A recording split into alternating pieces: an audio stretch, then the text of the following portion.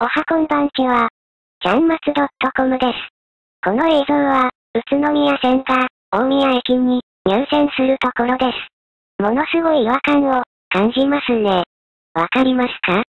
そうなんです。2階建てのグリーン車が、ないんです。ということで、今回は、宇都宮線の、宇都宮駅を、プラレールで、再現したいと思います。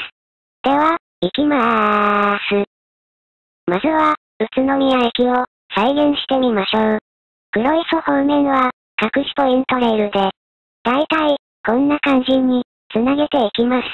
日光線との分岐も隠しポイントレールで、だいたいな感じでつなげていきます。はい、完成しましたね。上から見てみましょう。では、車両を置いてみましょう。どうでしょうか ?E231 系と165系のみの配置で、寂しいですが、雰囲気は出ていますね。時間の都合上、東北新幹線の駅は、省略しました。